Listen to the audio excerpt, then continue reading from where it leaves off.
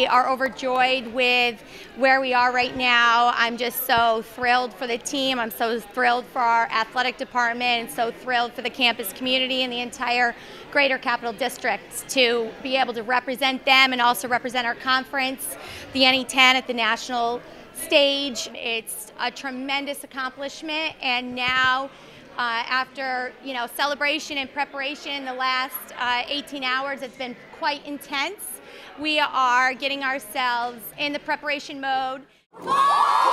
We as a program have such a rich tradition of national success.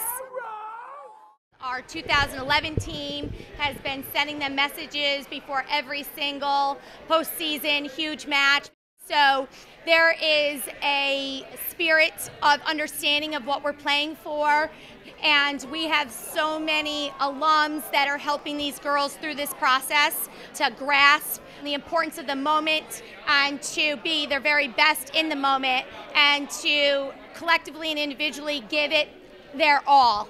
And that's what we'll be doing. Look at the legacy you're making.